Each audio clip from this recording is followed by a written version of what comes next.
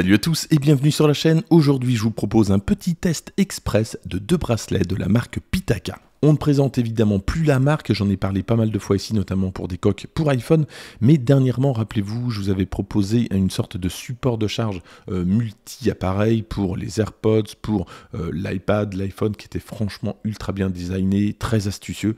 Et là, aujourd'hui, c'est au tour des bracelets pour Apple Watch. Vous allez voir, ils sont formidables. L'avantage de ces bracelets, c'est qu'ils sont en fibre de carbone, donc résistants et ultra légers. Alors c'est vrai que ça pèse pas grand-chose. Et euh, ils existent en deux modèles. Un modèle alors qu'on voit ici, c'est le modèle euh, moderne, et il y a un modèle rétro. Et à titre de comparaison, on a un petit peu la même chose chez Apple, qui coûte quand même 349 euros. Ici, on est à moins de 100 euros.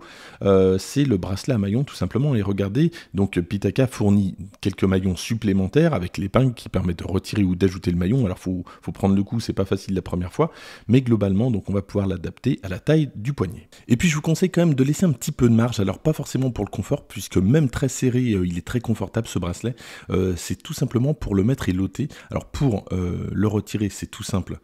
On appuie là, voilà, hop, c'est fait. Et pour le remettre, c'est tout simple. Et attention, on est sur un fermoir magnétique breveté par la marque. Voilà, c'est un petit peu compliqué à montrer, mais voilà, ça se remet très facilement. En tout cas, faut laisser un petit peu de marge. Euh, c'est quand même plus facile à mettre que lorsque c'est vraiment très serré. Et après le moderne, le rétro, voici l'autre bracelet en fibre de carbone de la marque. On retrouve exactement les mêmes spécificités. On va avoir quelque chose de très léger, donc en fibre de carbone, et surtout de très agréable à porter. Et donc le principe reste le même, on a les maillons en fibre de carbone et surtout le fameux fermoir breveté magnétique. Alors celui-ci je trouve tout aussi élégant, néanmoins j'ai quand même une petite préférence pour le moderne. Dites-moi d'ailleurs dans les commentaires si vous préférez l'un ou l'autre.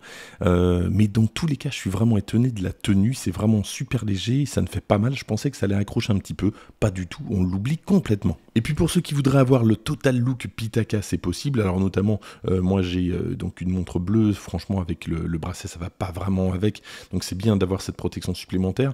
Donc elle, ressemble en fait à ce qu'on connaît chez Pitaka, c'est le même, les mêmes dessins euh, qu'il y a sur les coques. néanmoins, je trouve que le prix est un petit peu cher puisque la protection toute seule coûte 45 euros.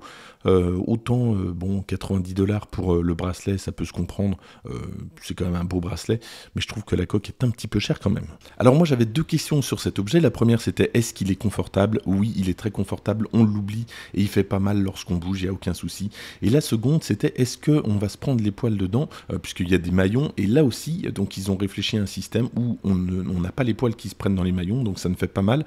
Alors ça m'est arrivé quand même quelques fois en le retirant euh, d'avoir un poil peut-être qui se coinçait mais franchement euh, c'est rien par rapport à ce que j'ai pu connaître avec d'autres bracelets qui pendant toute la journée dès qu'on l'ajustait on avait un poil qui se, qui se mettait dedans franchement c'était pas pratique. Et puis dernier point concernant l'étanchéité, donc on est sur du 100% fibre de carbone, les épingles sont en acier inoxydable et euh, donc Pitaka a fait des tests notamment en le plongeant dans l'eau bouillante euh, pendant 30 minutes, il n'y a pas eu de problème donc ça semble résistant. Alors j'avais quand même quelques doutes sur le côté waterproof, c'était indiqué nulle part, j'ai contacté l'assistance de Pitaka qui me confirme que c'est résistant aux éclaboussures mais que ce n'est pas fait pour les baignades en piscine ou en mer donc exit si vous voulez vous baigner avec. En conclusion c'est un quasi sans faute pour ces deux bracelets, je vous mets liens dans la description si ceci vous intéresse. En attendant, n'hésitez pas à liker cette vidéo, à la partager, à vous abonner si ce n'est pas déjà fait. Et moi, je vous dis à très bientôt.